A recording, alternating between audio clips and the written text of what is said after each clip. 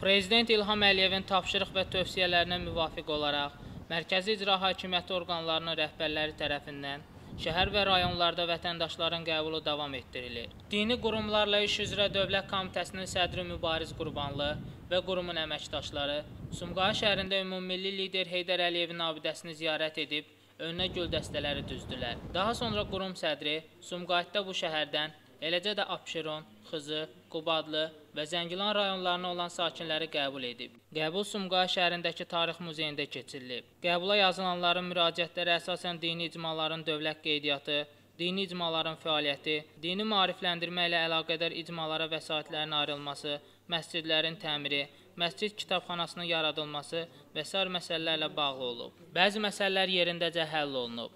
Həll olunması mümkün olmayan məsələlər isə aidiyyatı qurumlara çatdırılması üçün nəzarətə götürülüb. Daha sonra tədbir muzeyin aksiyalında davam etdirilib. Dini qurumlarla iş üzrə Dövlət Komitəsi və Sumqayıt şəhər icra hakimiyyətinin birgə təşkilatçılığı ilə multikultural və tolerant dəyərlərimiz tarixilik, varislik, müasirlik mövzusunda keçirilən regional konfransda Azərbaycan Respublikası dini qurumlarla iş üzrə Dövlət Komitəsinin sədri Mübariz Qurbanlı, Sumqayıt şəhər icra hakimiyyəti başçısının birinci müavini Faiq Kərimov, eləcə də Sumqayıt, Abşeron və Xızıda fəaliyyət göstərən dini icmaların rəhbərləri, din xadimləri, ictimaiyyət nümayəndələri, ziyalılar və gənclər iştirak ediblər. Tədbirdə çıxış edən Sumqayıt şəhər icra hakimiyyəti başçısının birinci müavini Faiq Kərimov bildirdi ki, şəhərimizdə də abadlıq quruculuq işləri Zakir Fərəcov şəhər rəhbərliyinə təyin olunduqdan sonra böyük vüsət alıb. Sumqayıt nəhəng tikinti meydançasına çevrilib. Məhəllə və mikrorayonlarda əhalinin yaşadığı binaların dam örtüklərinin, lift sisteminin yenidən qurulması,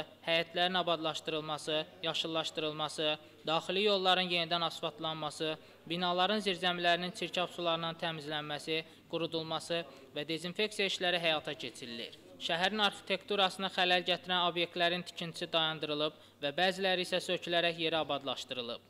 Şəhərin bir sıra vacib əhəmiyyət kəsb edən şose yolları, o cümlədən şəhər daxili yükü xeyli azaldan Çerkassi küçəsinin avtomobil şosesi, Corat və Hacı Zeynalabdin qəsəbələrinin, eləcə də əhalinin sıx yaşadığı Qurd Dərəsi Bağlar massivinin əksər yolları yenidən asfaltlanıb və abadlaşdırılıb. Şəhərimizin giriş qapısı olan Sülh küçəsinin ensiz yollarının xeyli enləndirilməsi, beləliklə də təhlükəsiz hərəkət imkan verən hərəkət zolaqlarının sayının artırılması işi həyata keçirilib. Şəhərin Azərbaycan prospektində O cümlədən Heydər Əliyev prospekti və onunla kəsişən bir sıra küçələrdə binaların milli ornamentlərlə özündə əks etdirən daş üzlüklərlə üzlənməsi işi davam edir. Demək olar ki, şəhərimizdə mövcud olan bütün uşaq bağçalarının dam örtükləri təzələnib, istilik sistemi yenidən qurulub.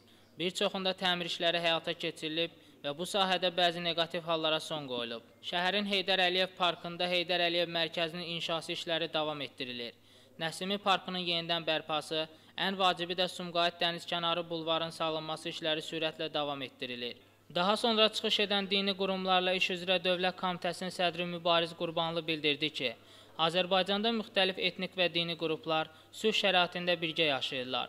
Tarix boyu ölkəmizdə bütün xalqları və dinlərin nümayəndələrini həmişə dostluq münasibətləri birləşdirib. Ayrı-ayrı etiqad və inanclara malik insanların yüz illərlə əmin-amanlıq şəraitində yaşamasında etnik mədəni müxtəlifliyin günümüzədək qorunub saxlanmasında xalqımıza xas olan mədəni və mənəvi dəyərlər müstəsna rol oynayıb. Çoxmillətli və çox konfensiyalı dövlət kimi Azərbaycan bu gün beynəlxalq aləmlə qarşılıqlı münasibətlərin, ikitərəfli və çoxtərəfli əməkdaşlıq əlaqələrinin inkişafına mühüm əhəmiyyət verir.